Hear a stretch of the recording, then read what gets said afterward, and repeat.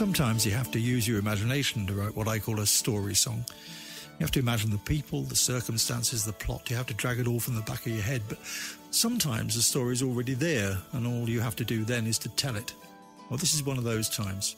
The song in question is about my wife's uncle, Frank. Now, Frank had an interesting life, having flown in the RAF in World War II, where he was known as Lucky Frank.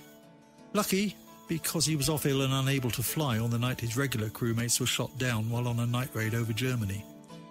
When he recovered, he went on a rota for a while as a sort of locum navigator, taking the place in any crew that was short a man.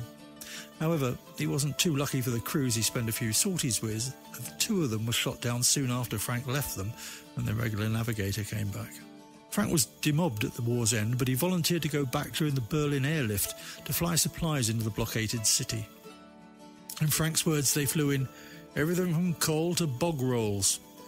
For his service both in the war and during the airlift, he was awarded medals, but he kept them hidden away in a drawer, and when we asked about them, he dismissed them as his little pieces of tin. Indeed, we only found out about his service at all when we met some of his cronies in the British Legion drinking.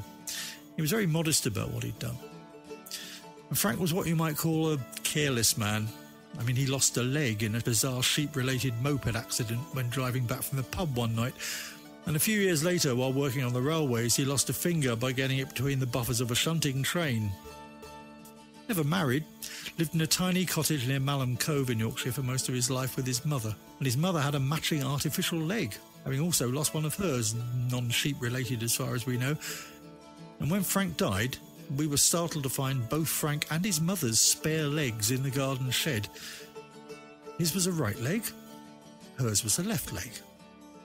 I've a feeling she bequeathed it to him when she died some years before in case he got unlucky with the sheep again. Never had much money. The story in the song is true. The medals did come in handy in later years, and the last verse is true too. I was stood by his graveside when a stranger. Well, listen to the song and hear the full story. It's just a little piece of tin in the bottom of a drawer. It's just something from the war he doesn't like to show.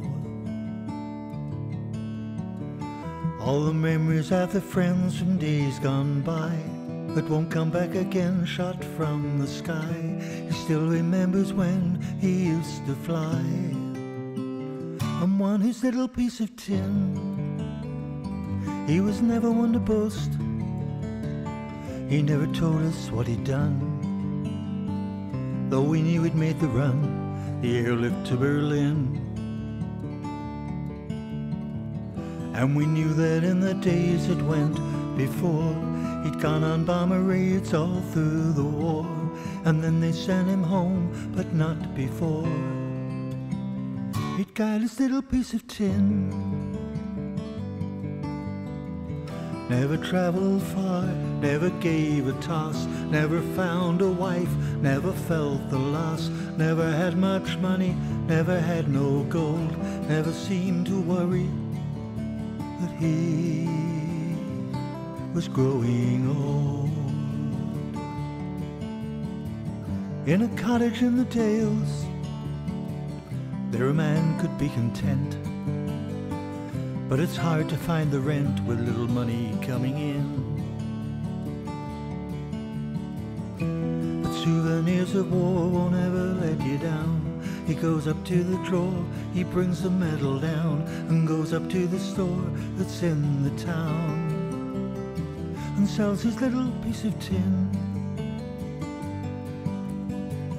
On a winter's day in a Yorkshire town, one lone bugle played as they lowered him down, and as I turned to go, a stranger came up to me and he said, I've something here that you might like to see.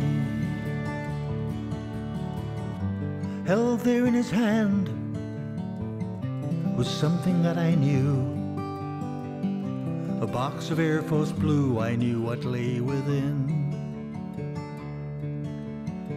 You said I bought it at an auction for a song, but I can't keep it now, it just feels wrong. So I bought it back where it belongs.